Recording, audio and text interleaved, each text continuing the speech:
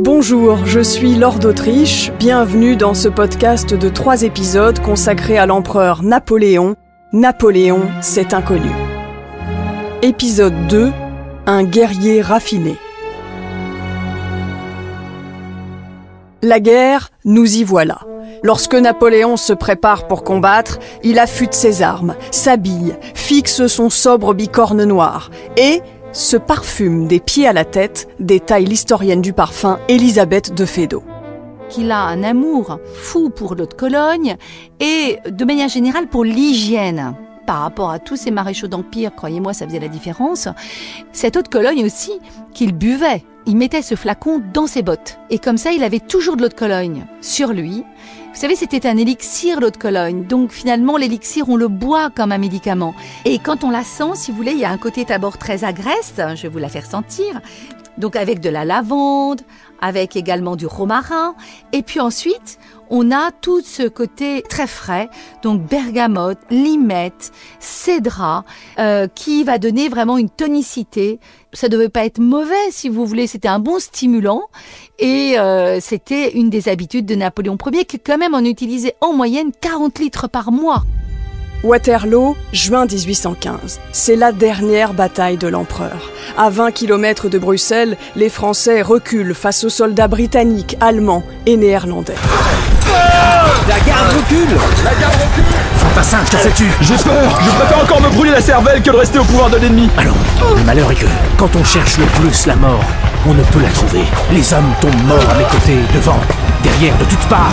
Mais pas une balle pour moi Retirez-vous, vous voyez bien que la mort ne veut pas de vous. À mon commandement Ouvrez le feu Feu Feu Rechargez les... Mon ami, éloignons-nous. C'est fini. Il est vaincu. Sa garde rapprochée l'entoure. Il disparaît presque au milieu de ses hommes. Napoléon est-il vraiment petit? Non.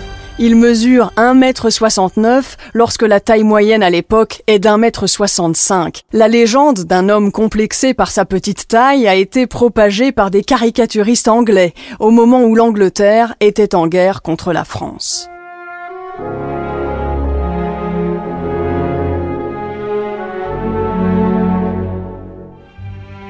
Aujourd'hui, on découvre encore des objets qui ont accompagné Napoléon. Un féru d'histoire, Alain Pignon, a retrouvé par hasard la longue vue utilisée par l'empereur à son retour de l'île d'Elbe, son premier exil.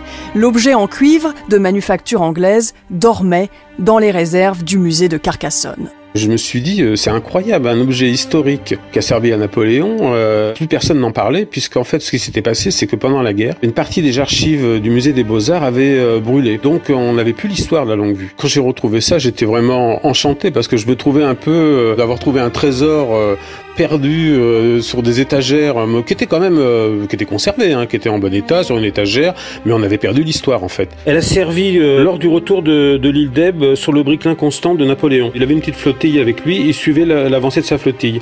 Il surveillait un peu aussi parce que il- vous savez que le, le retour de l'île d'Elbe s'était fait un peu discrètement, donc il surveillait s'il n'était pas suivi ou pas. Et je suis très heureux de voir cette longue vue aujourd'hui exposée. Il y a plein de gens qui viennent la voir d'ailleurs, hein, parce que ça a un côté un peu euh, ben voilà, l'évasion, une longue vue, c'est un peu aussi, on voit beaucoup plus loin, ça sert à ça, ça sert à voir plus loin.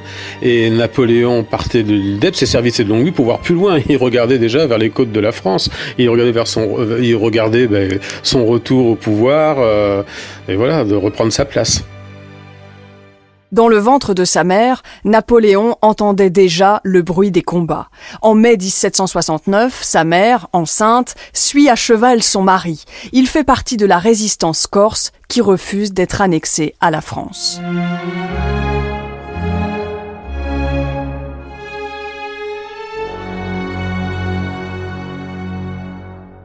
Qui peut sauver la France au lendemain de la Révolution de 1789 De retour d'Égypte où il a mené une expédition militaire et remporté la victoire, Bonaparte, avec un prestige qui ne cesse de croître, apparaît comme le sauveur d'une république qu'il va s'approprier.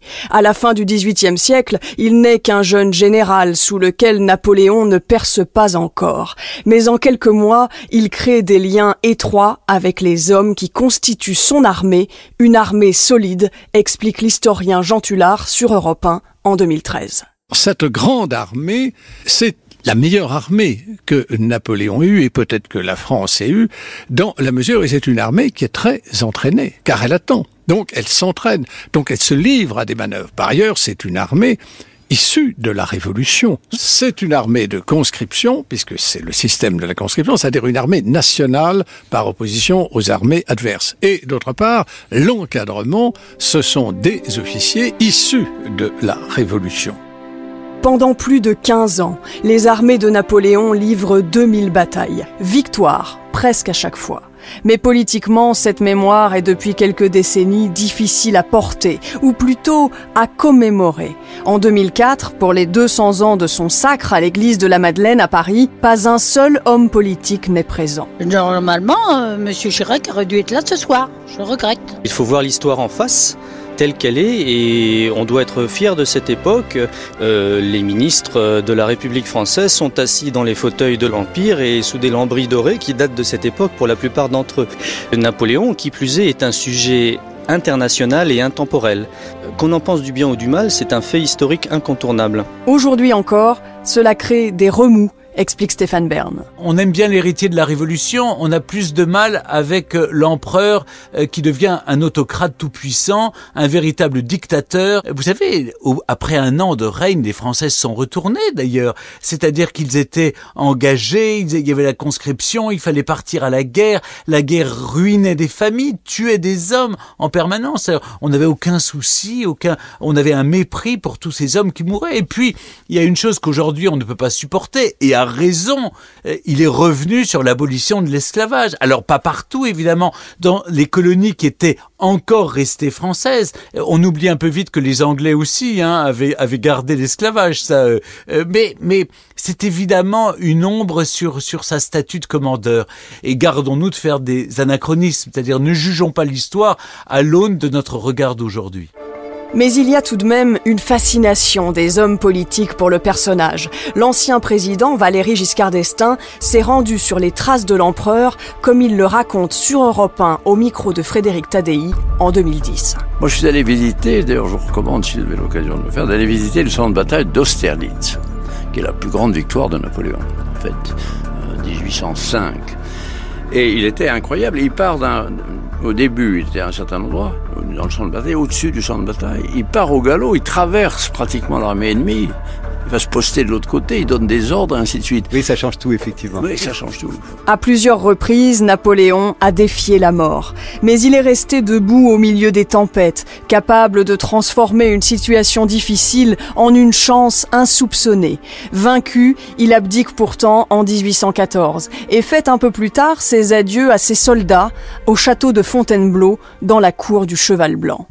Soldats, rassemblement Rassemblement Allez, allez, allez, plus vite Présentez Soldats de ma vieille garde, je vous fais mes adieux. Depuis 20 ans, je vous ai trouvé constamment sur le chemin de l'honneur et de la gloire. Avec des hommes tels que vous, notre cause n'était pas perdue. Mais la guerre était interminable. Vous, mes amis, continuez de servir la France. Son bonheur était mon unique pensée. Adieu mes enfants, je voudrais tous vous presser contre mon cœur. Que j'embrasse au moins votre drapeau. La garde d'honneur au drapeau L'empire qu'il a construit, Napoléon l'a détruit peu à peu. Son ego a fini par le perdre. Physiquement, il est devenu gros et imbu de sa personne. Les temps ont changé. On ne meurt plus pour un empire et l'honneur a quitté la pointe des épées. D'irréductibles passionnés continuent, eux, de commémorer l'empereur et ses batailles, comme à Waterloo en Belgique en 2015. En costume d'époque, ils ont reconstitué la bataille de Waterloo. On vient leur rendre hommage en fait 200 ans plus tard. À chaque endroit où on se trouve euh, à l'instant ici, il y, a, il y a quasi un homme qui mourrait toutes les secondes, que ce soit d'un côté ou de l'autre. L'empire de Napoléon, pour moi, c'est l'état où je désirais vivre. Quoi. C'est le monde qui est à moi complètement. Pour moi, c'est la dernière époque chevaleresque. Il va aller se battre et il va se faire tuer par l'ennemi aujourd'hui. mais bon, il revient toujours, c'est un problème. Hein. Il y a des femmes qui râlent quand leur mari rentre pas à la maison, mais moi je rouspète parce qu'il rentre toujours. Napoléon a mis l'Europe à ses pieds. Mais un pouvoir démesuré peut conduire à une impasse. Son ambition dévorante a entraîné sa chute. Il abdique deux fois. Un premier exil le mène sur l'île d'Elbe, puis sur l'île de Sainte-Hélène. C'est la volonté des Anglais. Banni, il passe les six dernières années de sa vie là, au milieu de l'Atlantique. Le 5 mai 1821, Napoléon prononce ses derniers mots à 17h49, agonisant. La France, mon fils, la tête, l'armée. Des mots qui forment sans doute la phrase suivante pour la France, il faut que mon fils prenne la tête de l'armée. Mais l'Empire est bien loin. Les Bourbons sont de retour sur le trône et Louis XVIII règne depuis six ans. Vous venez d'écouter le deuxième épisode de Napoléon, cet inconnu, réalisé par Sébastien Guidis. Si cet épisode vous a plu, n'hésitez pas à en parler autour de vous et à nous laisser vos commentaires. Dans le dernier épisode, Napoléon, un amoureux misogyne.